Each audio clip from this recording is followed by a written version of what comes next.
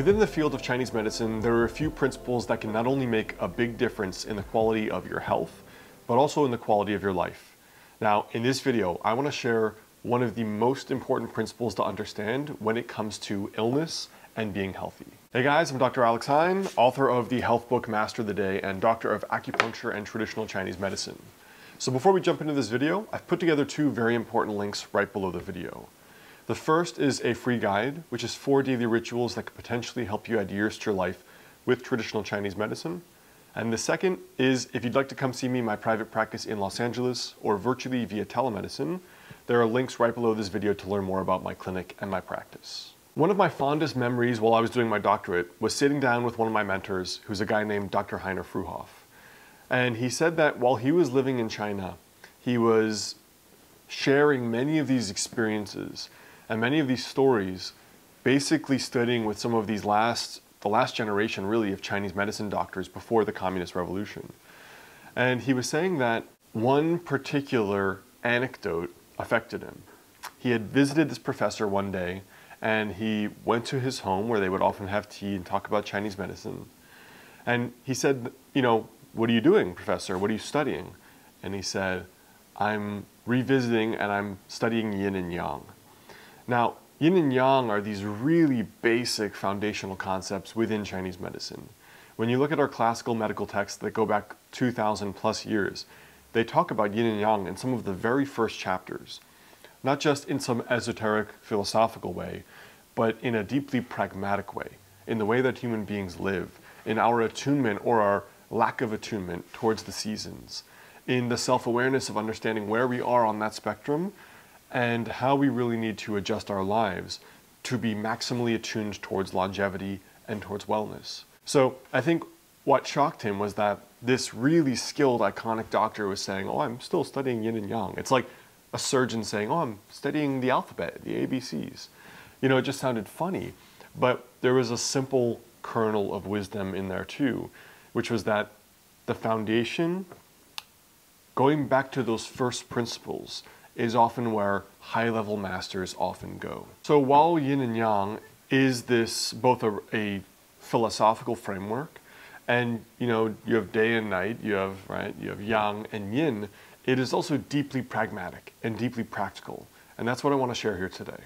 One of the most obvious observations that i make in my clinical practice with patients is that when a person walks in the door they are on a spectrum every single time. They're on a spectrum of tension, let's call it, tension related disorders or pathologies, or laxity related pathologies or disorders. So again, we are not just one thing, right? A person's not just tense or just lax, but it's clear when people walk in, the way they carry their body, their tone of voice. Is it loud? Is it forceful like mine is? Or is it very relaxed and timid, very tired sounding? Right? That by itself is where diagnosis begins in Chinese medicine. From there, not only the voice, the presentation, what about the look in the eyes, right? The eyes reveal the state of the spirit, as we say. So the eyes can be bright and shiny, like the eyes of a, like a kid that's energized and ready to go, or they can be the lifeless eyes of someone dealing with chronic disease or long-term depression or serious, serious chronic illness. Not only that, you have the way they carry themselves, their voice, their eyes, the way they speak. But in general, people are on a spectrum of high tension, you know, the type A. We use the term high strung, right? It literally has tension implied in the meaning of the term, right? High strung people and people who are on whatever the opposite side of that spectrum is. I hate to say lazy because these people have gifts that they're good at as well. But tension versus not tension. This is yin and yang. This is binary with a spectrum in between. So what does this have to do with clinical medicine? Or with you as the person trying to do something pragmatic to heal? Well, understanding where you are on that spectrum is key to understanding what medicine you actually need. So for example, the person that's the type A hyper-rigid person, which is me, these people tend to be driven and they tend to be achievers. They tend not to have to force themselves to do that. They have a natural momentum that other people do not have. Where do they struggle though? Right? Because that is a dual edged sword where they tend to make themselves sick because of that exact same gift momentum.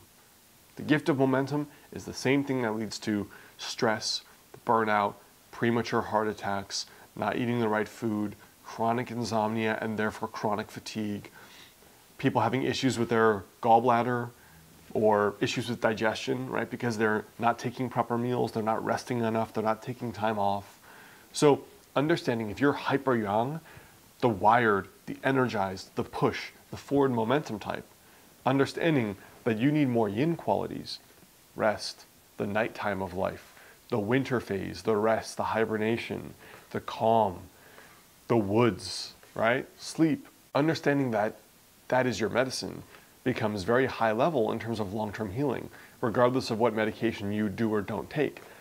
Your life has to ultimately become your medicine. So, yin and yang are both philosophical and religious concepts, but they're also clinical and pragmatic concepts. And they're very, very important and useful to know because we can see where someone is on that spectrum and we can just work towards inching them back towards that middle level. And if they do that with self awareness or with the advice of some wise and trusted counsel, then they can actually make those steps towards long term healing. So, yin and yang, one on one. I hope that helps you guys. Don't forget to check out those two related links right below this video, and I'll see you soon.